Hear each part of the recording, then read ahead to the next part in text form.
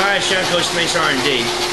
I've had a, a couple of emails about engine vacuum, and I have an engine running here on the Simtester, and I want to kind of show you what's going on here when uh, we talk about vacuum on an engine.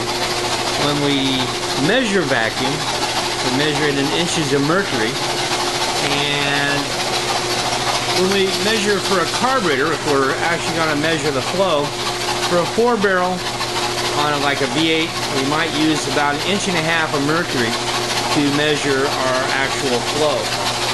With a two-cylinder, or I should say a four-cylinder, two-barrel carburetor, uh, what we'll see is uh, a vacuum range of around 3 to get our CFM rating. Well, I had an idea here about maybe taking a vacuum gauge and putting it on one of the intake ports here so you can see how much vacuum an engine actually draws. Now right now this engine's only running at about 204 RPM so it's not even going to be cranking pressure and we'll have a look at this thing here. I'm going to get the camera set up on the tripod so stand by one.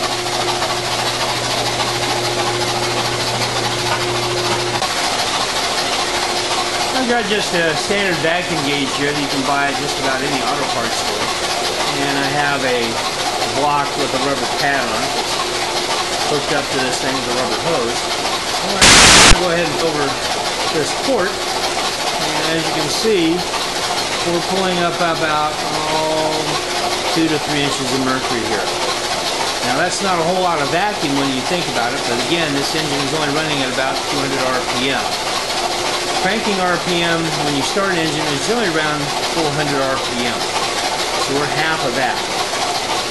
Now the reason that we have vacuum on this, of course, is because our valves are, are opening and closing at a certain time period. And the piston going up and down creates a vacuum or a suction.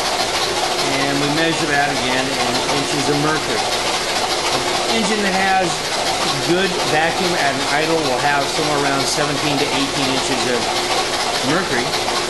And as you see here, again, this is just a very slow RPM here. We're pulling up about 2 to 3 inches. Anyway, it's just something I wanted you to know about. And if you have any questions or comments about this, please let me know. This is John Edwards, Costa Mesa R&D. I'll see you soon.